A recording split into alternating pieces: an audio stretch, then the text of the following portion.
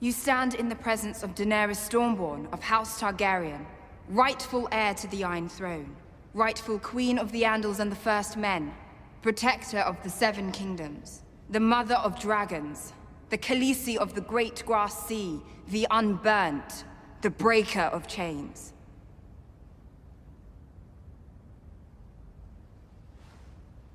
This is Jon Snow,